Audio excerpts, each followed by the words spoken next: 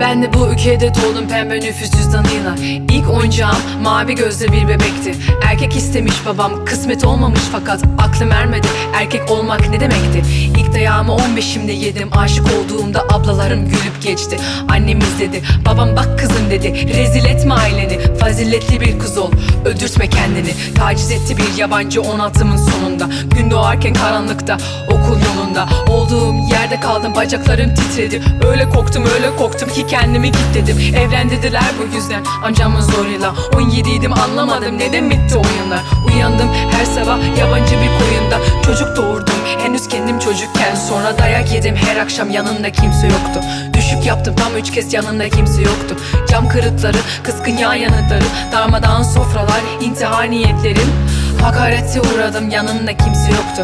Benliğimi yitirdim yanımda kimse yoktu. Yanımda kimse yoktu. Benliğimi yitirdim yanımda kimse yoktu. Kıyamet hala kopmadıysa var bir bildiği. Tamam da en güzel hikayeler neden kalır yarım Üçüncü sayfalarda cinayet, tecavüz ve şiddet. Mağdur hep kız çocuğu veya bir kadın. Bu yapay ortaçağ karanlığı.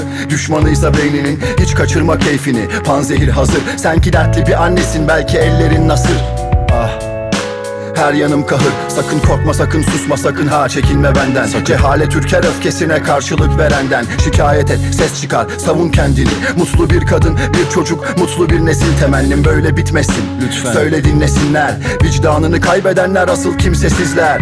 En nihayetinde ben de bir canım. Gücüm yettiğince hep yanındayım. Mürekkebim bitmedikçe hep yanındayım. Bileklerim bükülmedikçe hep yanındayım Damarlarımda kan aktıkça hep yanındayım. Bu dişlerim dökülmedikçe hep yanındayım. Mürekkebim bitmedikçe hep yanındayım. Bileklerim bükülmedikçe hep yanındayım. Damarlarımda kan aktıkça hep yanındayım. Ben yanındayım